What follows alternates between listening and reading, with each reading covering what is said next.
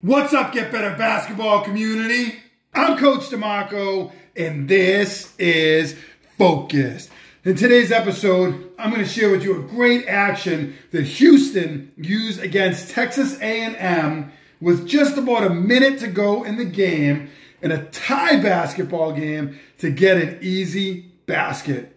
It's a play that I call Flash Hammer, and it's a really, really simple action the point guard is going to bring the ball up this right side of the floor, and five is going to flash to this high post area. We're going to go from one to five, and then one is going to cut off of five and get the basketball back from five. So five has the basketball, one is going to make that cut, and they're going to get the pass back. Now, remember, as the ball's on this side of the floor, you're going to have the defense, and in particular, help defenders that are going to be in the gaps or in help position. So they might be in the middle or at least in this area. That's going to set up a great opportunity for what's called a hammer screen. This four player is just going to come up and they're going to set that hammer screen and three is going to go to the corner. So as one's driving, they're going to hit the baseline. They can go to three for a three-pointer or five is going to seal their player and they're going to roll. And then four off the hammer is going to roll into the paint. We're actually going to get a pass from one to four, and he's going to get two points. But you have an option for the three-man. You have five coming back down the paint, and two kind of relocates out. If one has to reverse back out, they could skip it back out to two. So many options.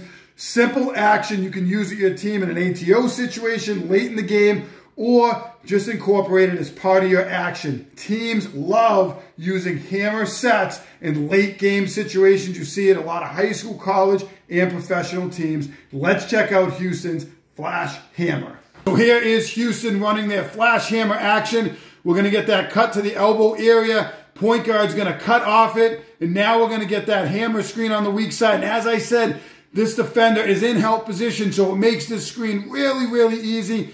And this defender is looking to help on that give and go action. As this player attacks the baseline, he has a wide open skip for a three pointer in the corner. This player is trying to get off of this screen. This player is going to roll into the paint and they're going to get the pass. But I also want to show you that this player is going to have inside position as well. They're going to get an easy two points off of this.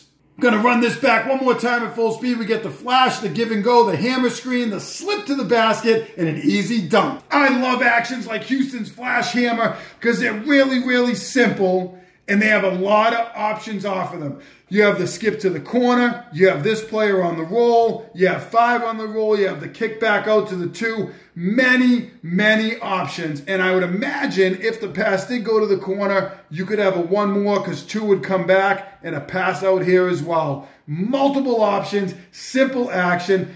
I love this set. If you like this set, make sure you hit that like button down below, turn on your notifications, and subscribe to Get Better Basketball on YouTube for more great video breakdowns each and every week. As always, get better every day.